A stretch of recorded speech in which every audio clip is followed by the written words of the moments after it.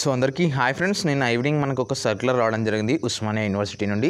ఈ ప్రెస్ నోట్లో ఏముందంటే ఆల్ ద ఎగ్జామినేషన్స్ ఏవైతే మనకు ట్వంటీ ఎయిట్ ట్వంటీ నైన్ రోజు ఏవైతే షెడ్యూల్ అయి ఉన్నాయో ఎగ్జామ్స్ అనేవి పోస్ట్ పోన్ అయితే చేసినారనమాట ఎందుకంటే హెవీ ఇన్సెసెంట్ రైన్స్ అని మనకి రెడ్ అలర్ట్స్ ఉన్నాయి ఆరెంజ్ అలర్ట్స్ అయితే కొన్ని ఏరియాస్లో పెట్టడం జరిగింది. ఈ నేపథ్యంలో రివైజ్డ్ డేట్స్ అనేటివి మళ్ళీ మనకు post date Osmania dot AC dot in వెబ్సైట్లో మళ్ళీ పెడతామనేసి చెప్తున్నారు.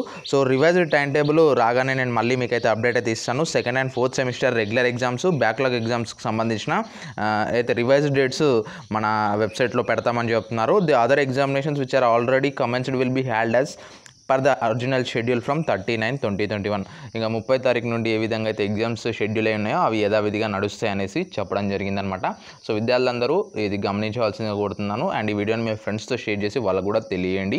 అండ్ ఎటువంటి అప్డేట్ ఉన్నా కూడా వెంట వెంటనే మన ఛానల్లో పోస్ట్ చేస్తుంటాం కాబట్టి మీరందరూ మన ఛానల్ని సపోర్ట్ చేయవలసిందిగా కోరుతున్నాను. ఏదే ఎటువంటి డౌట్ ఉన్నా కూడా కామెంట్ చేయండి.